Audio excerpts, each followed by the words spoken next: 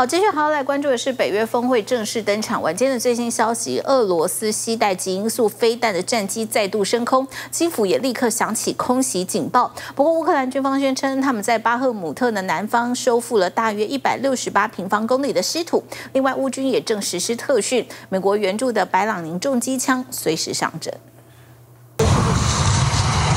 乌克兰打火兄弟才到现场拉水线灭火。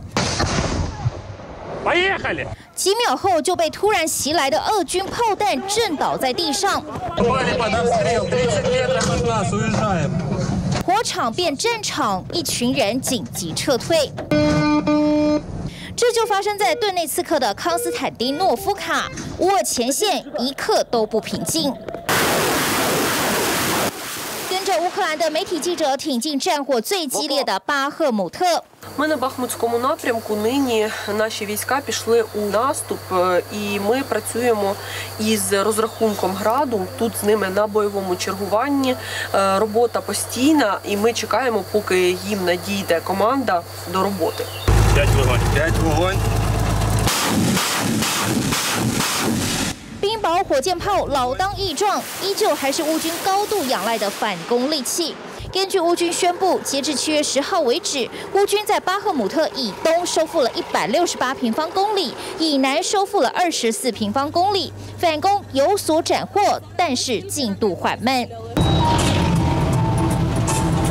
反攻 ING，只见巴赫姆特外围道路都是坦克，烟消四起。乌军在这里透过突击旅的炮兵掩护步兵攻势。Ми зараз на Бахмутському напрямку приїхали на позиції до мінометки 10-ї гірсько-штурмової бригади. Ця бригада якраз йде тут в наступ по флангам. Одна із бригад, яка йде у наступ, і мінометка допомагає нашій піхоті просуватися. 昼伏夜出，等待最佳时机。 C N 也直击，就在巴赫姆特不远处，还有座新兵训练营。这个“新”指的不只是人，还有武器。没错，这边的乌军要学的是如何从之前用习惯的苏联制机枪转换成美国援助的白朗宁 M2 重机枪。This exercise is designed to bring together troops fresh from the front around Bakhmut with new recruits to show them. How it's done. 有实战经验的士兵手把手教学，战场上生死交关，还要适应新武器。乌军的受训得自力救济，才能拉高胜算。The Russians have an immense amount of old Soviet weapons, he says. They just throw a massive metal at us. We can't overcome them this way. We need quality and precision. 乌军嘲讽俄军精准度不够，根本就是乱打一通。不过事实上，乌军还是有一大部分是靠着苏联旧军武在撑。He says NATO should provide something newer than his old Soviet workhorse. It's as old as the two of us. yeah, okay, I can believe it. 同样消耗很大的就是无人机。乌军飞的是名为 Leleka 一百，又称冠式无人机，这是乌克兰国产的侦察无人机，也是目前乌军最广泛采用的侦察式无人机。续航距离约一百公里，是乌军的侦察利器。用无人机就是希望能够减少步兵地面攻势，必须要和俄军正面搏火的人力和弹药消耗。This is a war relating to munitions and uh, the running out of those that ammunition, and we're low on it. 毕竟，连美国总统拜登都说战争关键就在弹药，只是前线消耗太大，西方军援恐怕缓不济急。On the artillery ammunition, uh, we produce hundred thousands of rounds, and the capacity of next year will be six hundred thousand. So if you see that the need is, is 1 million, Rheinmetall could deliver, if we deliver only the Ukrainian 60% of the need. 德国最主要也是最大军火商莱茵金 属坦言，就算产量拉高六倍，都未必能满足乌克兰需求。要更直接帮助乌克兰，就是直接进到乌克兰建立生产线，从这辆 Fox 装甲车开始。If they always have to wait that Europeans or Americans uh, help them over the next ten or twenty years, I think that's not possible. 欧洲军火商想要直接前进乌克兰盖工厂，恐怕也意味着这场战争三到五年难以结束。TVBS 新闻综合报道。而俄罗斯对外证实，在瓦格纳兵变后的第五天，普京在克里姆林宫会见了他们的领袖普里格金以及三十五名瓦格纳的指挥官，还宣称瓦格纳当面向普京宣誓效忠。不过，克里姆林宫只有口述，并没有公布相关画面，真实性还是被存疑。乌克兰士兵蓄势待发。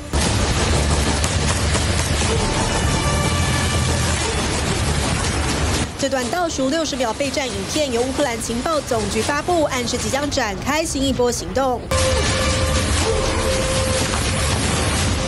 相反的，俄国内部还在烦恼兵力问题。甚至又重新提起瓦格纳领袖普里格金的名字。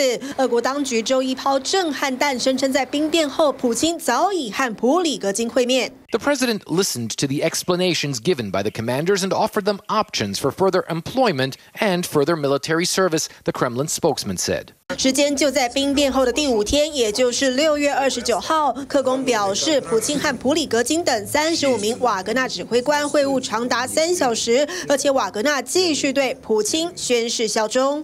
They stressed the fact that they are loyal supporters and soldiers of the head of state and the commander in chief, the spokesman says.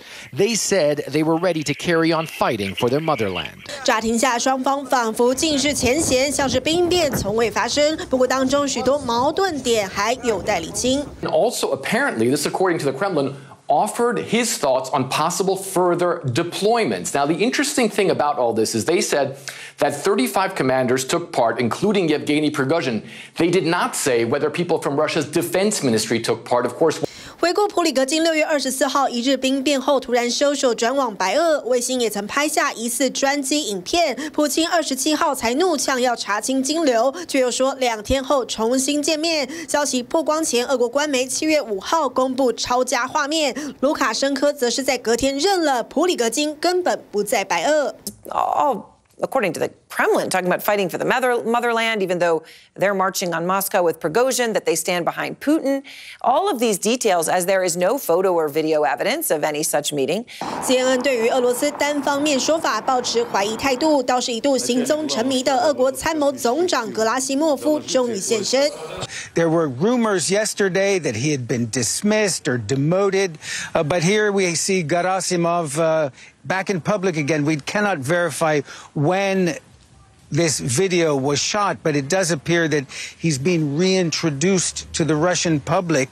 俄国让格拉基莫夫公开露脸，却只用口头方式描述和普里格金会面一事，确实相当的诡异。至于曾被普里格金公开赞赏的末日将军苏洛维金，现在还行踪成谜。I think Prigozhin himself is still too important to Putin. Putin, in essence, offering them jobs. 普京还需要瓦格纳帮忙打仗，不得已低头和解，甚至暂时不会惩处普里格金。This man who essentially led an uprising in Russia, who Vladimir Putin basically said were you know, accused of stabbing him in the back, is still walking free. 目前还不清楚普京为何妥协，因为叛变日当天他险些大难临头。乌克兰情报显示，瓦格纳兵变当天差点就夺走俄罗斯核武。研判瓦格纳当时的目标是名为佛罗尼斯四五的核武基地，该区保存了苏联时期研发的小型核装置，据称可用背包携带。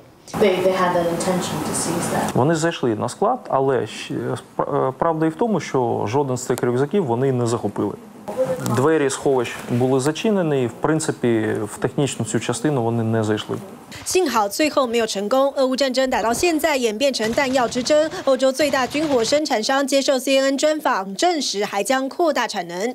On the artillery ammunition, uh, we produce hundred thousands of rounds, and the capacity next year will be six hundred thousand. So if you see that the need is, is 1 million, Rheinmetall could deliver, if we deliver only the Ukrainian 60% of the need. If they always have to wait that Europeans or Americans uh, help them over the next 10 or 20 years, I think uh, that's not possible. 关键时刻，北约峰会选在距离俄罗斯边境仅一百五十一公里的立陶宛首都召开，泽伦斯基也将和拜登一对一会面。此次的目标很明确，是为加入北约排除可能的障碍。TV 新闻综合报道。想看最完整的新闻内容，记得下载 TVBS 新闻网 APP。